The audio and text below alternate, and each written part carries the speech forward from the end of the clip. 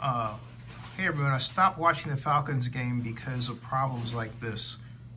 This is a play such that when A.J. McCarron, the quarterback, given the blocking scheme, goes back to pass, you should stop right there, be told to stop right there and then throw. But they've got it such that it's a quick blocking scheme. In other words, they only hold their blocks for a second, and yet they have McCarron executing a fake that takes over a second. So what happens? The blocking slips down. It collapses real quick. Watch. He makes his fake, and then look, they're already in the backfield. The primary he wants to throw to isn't open because the he's there being asked to run a longer pattern than he should. And what happens? He gets rushed. He gets collared He gets flushed out of the pocket, and he gets stopped after a run. And all that because the play was mal-timed. Here's another example of just how lousy this offense is. Here's another example. This is going to be a weak side run to the side opposite the tight end. What the Falcons do is they first put the tight end in a fake motion where he comes back across, and then he stops there. Now note, that's the strong side. They have him running the weak side, but look, watch what happens, starting with the offensive tackle on the right side over there. And here's the snap of the ball. Right here, the outside linebacker gets inside leverage and blows the play up. But look at the blocking angle. The tackle, look at this. Look at look at look at what's going on here.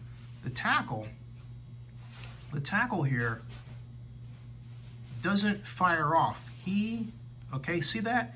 He takes an angle outside like he thinks the end is going to follow him rather than going to directly block the end, thereby getting leverage on the end to push him back. He doesn't push him back, he moves sideways. And whoever told him to do that, it wasn't the player, it was the coach.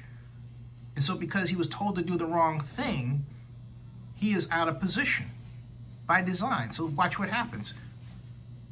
99 gets inside position, he gets into the backfield, he gets so far into the backfield that he puts the halfback off his route, gets bounced to the outside.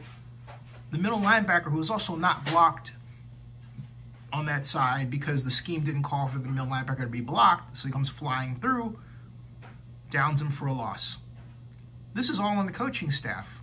It's not the player's fault. This is a stupid. This is a stupid scheme in action from a rookie head coach who they selected over Kansas City Chiefs offensive coordinator Eric Bieniemy. I mean, you got to be kidding me. Okay? I mean, watch watch what happens with this guy over here. The middle, right? That that's the that's the um, he would normally be the middle backer, but they've got him up in an inside linebacker, and they have the stand up in as the outside linebacker. So watch what happens, okay? He comes flying through there and is made to make the stop. Now, the, what you normally do is you have the tight end on that side or a crackback, but and then on top of that, you've got the receiver so far in, you're bringing the cornerback into the party too, up here, all right, to force the run. This is stupid. This is completely stupid. They expect to get a run out of this? Is it's to be laughed at. This is ridiculous. Okay? So I'm supposed to watch this nightmare unfold. I know what's going to happen. I, I, I haven't even looked at the statistics. I know what they're going to show. It's horrible stuff. Falcons are ahead 13 to nothing. It's two minutes before the half. A.J. McCarron's 3 of 10 for 23 yards and one interception. Rushing, A.J. McCarron is the leading rusher, the quarterback is leading rusher of two carries for 11 yards, a 5.5 yard average. Javian Hawkins, two for four, two yard average. Caleb Huntley, who got down for loss, two for nothing. I mean, this is absolutely ridiculous. This is what you have to show for an entire half of football? This is the guy that's the problem. Dave Ragone has not had an offensive coordinator job until now. He's passing game coordinator before, and this is his first job, and it shows.